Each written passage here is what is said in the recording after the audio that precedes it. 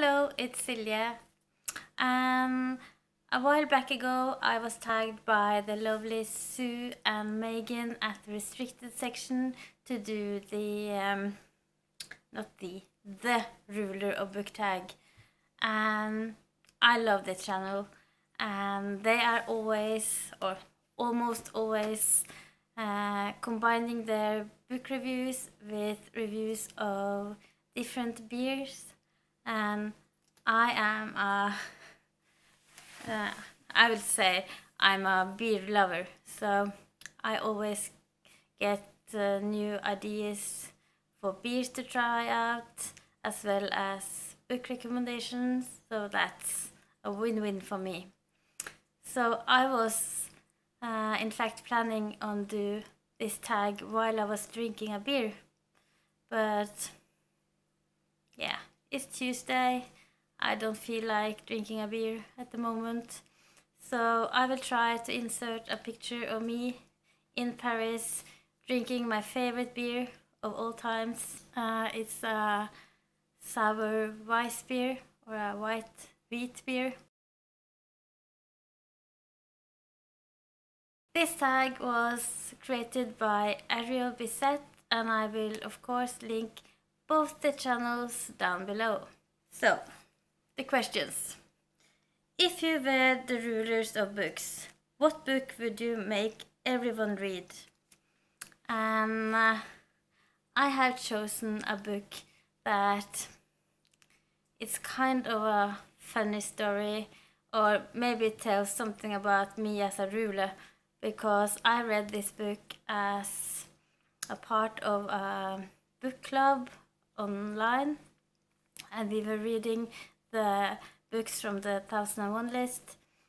And this book, I think we read it like three years ago, and I was the only one who really enjoyed the book. Everyone else was like, didn't like it, it was boring, it was unfinished, and yes, it is unfinished, but it's a reason for that. And it's too flat. It was many many arguments for why they didn't like the book, but I really liked it, and I think it's a book that it's important for people to read. So therefore, I want everyone to read this book if I was the ruler of books. And that book is this one. It's I have the Norwegian edition because when I read French books, I uh, tend to read it in Norwegian if it's available. Um, it has been translated to English as well, so and I have some of her books in uh, English also. And this book is Suite Française by Irene Nemirovsky. And I would like to tell you a little bit about this book and just to explain why I want I think it's important that many people are reading it. And I have my notes, so I have to uh, look at them. Irene Nemirovsky was a very well-known French author in the 1930s. She wrote a lot of books with different themes, and she wrote short stories. And this book Suite Française was meant to be her masterwork. And um, in this book, she meant to, um, let me see, she want, wanted to go in depths of the human nature and how humans react to uh, war and to be put in extreme situations. This book was meant to be written in four parts, but she only managed to, to write two parts. She was arrested in the 1940s and was sent to Auschwitz, and there she died. Um, so this book contains of two parts. The first part, and I don't know what the part is called in English, so I have taken the freedom to just translate the Norwegian title, and that's Storm in June. And it might be the same title in English, but I'm not sure. And Storm in June or tells about the German occupation of Paris, and it takes place in the first few intense days of the occupation. And um, it's panic. The people are panicking. They are fleeing their apartments and their houses. And um, this is a book with a lot of characters. Uh, you don't get to know them all very well, but you get to know, th- know them good enough, I think. All these characters are from different social um, classes. You have the rich ones, you have the poor ones, and you have them in between. And the book is written in episodes where where she is focusing on one group of persons and then focus on another group of characters and then go back and then focus on the third part and we go back and forth through uh, the first part and i like that because then you get to really see how the the people of all these different social um, classes are reacting to this crisis. The one thing I liked the most was the way she was describing the upper social class. They who have the money and and was used to have the ability to just pay their way out or they were like looking down at people in normal times. And she she is so um, sharp and witty and almost sinister in her description of these people she shows all the arrogance and all their hypocrisy and showing us that being of a well-known family doesn't make you a real good human when the crisis and the war hits you. And it's kind of a normal way to react, but it but it made so clear in this book because before the war they were the one who were on one side helping the poor ones and at the same time putting themselves up on the pedestal and talking down to them. And now they are out on the on the road trying to survive and they're all equals. So yeah, I find that to be very fascinating and a very good observation of humankind. Uh, the next part in this book is called Dolce, and it's set, I don't know, a couple of months after the um, occupation. The French has surrendered, except the La Resistance, and we are now in a village that has both French inhabitants and uh, young German soldiers, and they are trying to make the world or their life um, go back to normal, as normal as it can be in this war situation.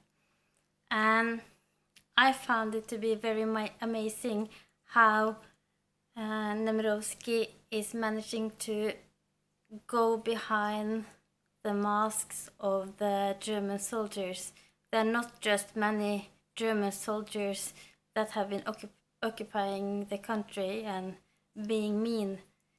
She depicts them as humans and as young boys that aren't they are a part of this war because they are soldiers, but they haven't chosen to be soldiers in this war. They are young boys. They don't know what they're doing here and they are just trying to survive. So I find that Nemirovsky in this book just managed to tell something about humankind and what we will do and when the crisis hits and some of us will do good things some of us will do bad things. And this book was or the manuscript of this book was uh, locked inside the suitcase um, to the early 2000s i think. Her daughters didn't want to read it but then they decided to read it. It was released in 2004 in French and it was put on the Boxall 1001 list. So yeah, so I think this is a very good book and I think it's an, an important book. Can be very unpleasant. It can hit hard to home. I have said it before, but I like books that are like this. So Française is the book I want I want everyone to read if I was the ruler of book. Or ruler of books, I would say. So yeah. And she has written a lot of other books that because I love this, I had to go out and buy everything. So I haven't read them yet. But I have Le Bal, which is a little collection of short stories that uh, revolves around daughters and mothers and their kind of not that healthy not that healthy relationships and yeah. I have uh, and now I have to see if I can find the English title but this one it's Fire in the Blood and then we have David Golder which was her most famous work before Suite Française, and it was her most famous book while she was alive. So, yeah, need to read that. And the last one is also a collection of stories, and that's Dimanche and other stories. And this is um, is a Persephone uh, book and I have to show you the end papers. Pretty. so yeah, I like Irene Nemirovsky, even though I just have read I have just read one book by her, and I have four other books to read. So yeah. Next question: What would you abolish in book constructions? Um, I don't know if you can see it in the on the shelves behind me, but I am a fan of the paperbacks, and I really prefer them to the um, to the hardbacks. But it's one kind of paperback type that I really dislike, and that's the hard paperback. I don't know if that's the correct term, but like this book, this is the the Art of Asking by Amanda Palmer. The book is amazing and it just fills you with so much warmth and creativity and you just want to go out and make things. But it's it's just very hard and you have to bend it open and it's and I don't care if the books gets uh, like destroyed or anything but it's just hard to pull open and you have to just use all your force to read it. Number three. What author would you commission to write you any book? And for this I chose the the author Benjamin Constable. He's um, a British author. I'm not sure if he lives in Paris now, but he used to live in Paris. And I think four years ago he wrote this book, The Three Lies of Tomomi Ishikawa, and it just blew me, blew me away. And part of it is um, is taking place in Paris, and part of it uh, taking place in New York, and it's like this hunt for clues to find out what's happening to this Tomomi Ishikawa.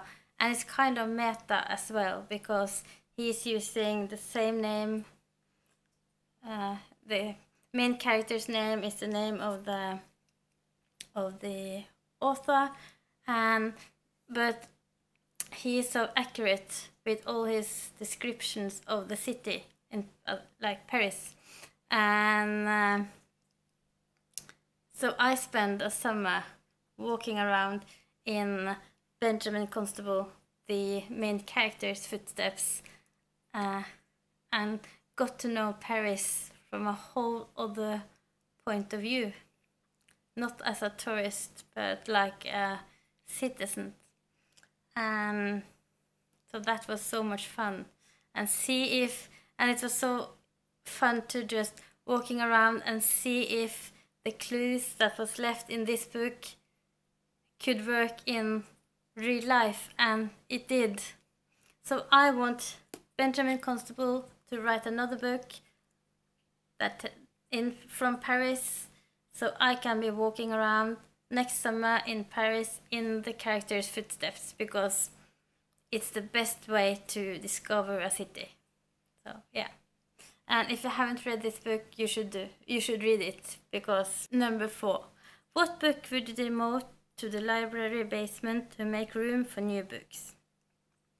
And to be honest, I'm not fan of just getting rid of books or hiding books because there are always someone that really enjoyed that book.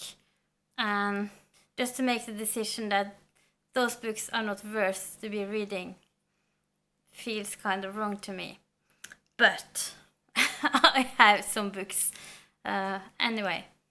And it's kind of mean because it's not one book, it's like a genre. And, and it's a widely popular genre. But I don't like it. And I it's it's those psychological thrillers that has been written post Gone Girl that I really dislike. And I don't think it's just because they're poorly written. I think some of them might be good, but I am getting so sick of all the books that are written with twists just for the twist's sake because if I know there's going to be a twist that I will never understand, I will be so suspicious to everything that's happening, and then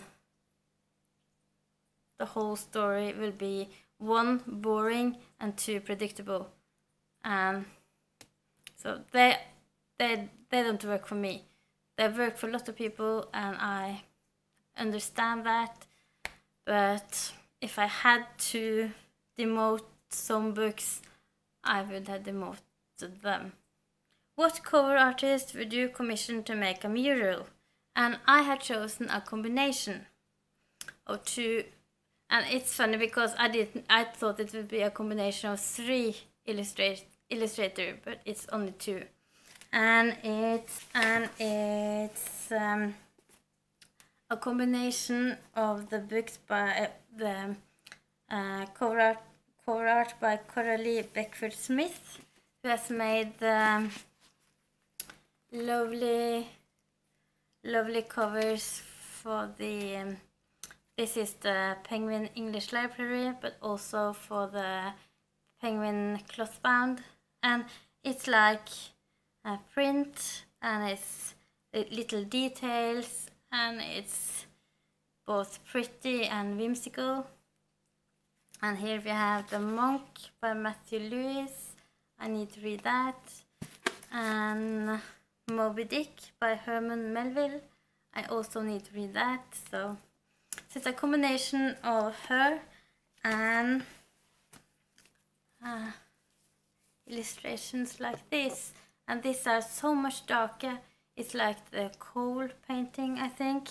And I have always loved these covers. And I just found out it's the same cover artist. And he is called Hans-Jørgen Toming. And I think the combination with a dark and uh, gray and a little bit depressing style and the Coralie Bickford-Smith style would be kind of neat. What character face would you put on a coin? And I have chosen Alberta from Alberta and Jacob by Cora Sandel. Sandel. It's a Norwegian classic and I have chosen her because of her dreams and creativity and her will to break free from the boundaries uh, the society has set for her as a woman at her time.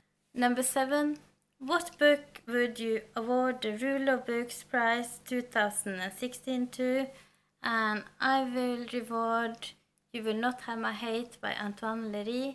I will do a full book talk of this book as soon as I got my as soon as I get my English edition because yes, I have ordered the English edition as, as well so I can read some quotes and this book is just fantastic.